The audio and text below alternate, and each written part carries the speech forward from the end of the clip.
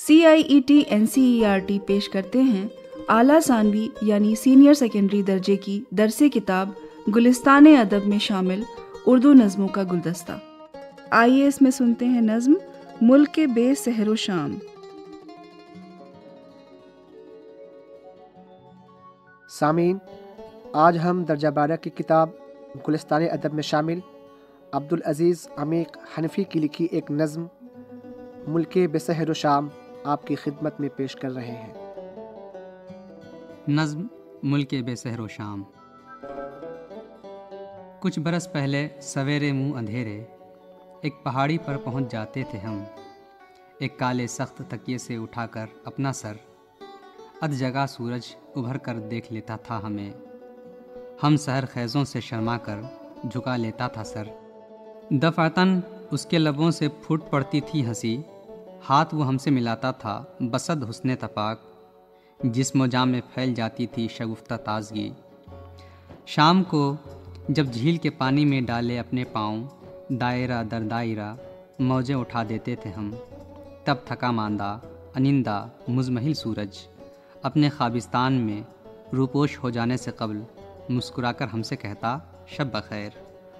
और चल पड़ते थे हम सब अपने घर।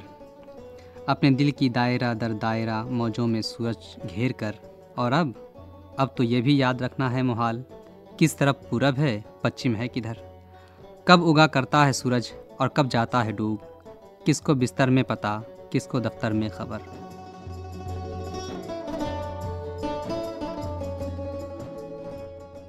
सामीन, शायर ने इस नज़म में इस बात का ज़िक्र किया है कि नए ज़माने की ज़रूरतों और तकाज़ों ने हमें ऐसे कई चीज़ों से महरूम कर दिया है, जिनसे हम रूहानी मसरत हासिल करते थे। हम अपनी ज़रूरियाती ज़िंदगी को पूरा करने के लिए इस कदर मसरूफ़ रहते हैं कि हमें पता ही नहीं चलता कि सुबह सवेरे कब सूरज तुलू होता है और किस लम्हे डूब जाता है। गोया कि अब हम एक ऐसे दुनिया में रहते हैं, जिसकी ना तो सुबह होती है और ना शाम। शायर ने फितरत से दूरी के अलमियों को मौजू बनाया है। वो बड़ी हसरत से माजी के उन दिनों को याद करता है, जब सुबह सवेरे उठकर वो ताज़ा दम सूरज के तुलू होने का खूबसूरत मंजर देखा करता था। सूरज बड़ी गर्म जोशी के साथ उसका खैर मकदम करता था फ़ौर उसके जिस्म में एक नई रूह फूक देता था। उसे झील के पानी में पाँव डालकर बैठना और गुरूब होने से कबल सूरज का शब बखैर कहना याद आता है।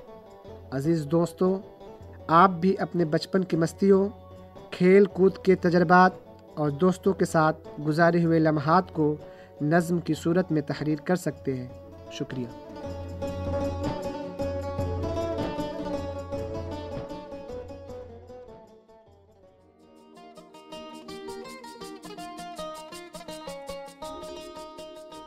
अभी आप सुन रहे थे नज्म, मुल्क बे, सहरो शाम।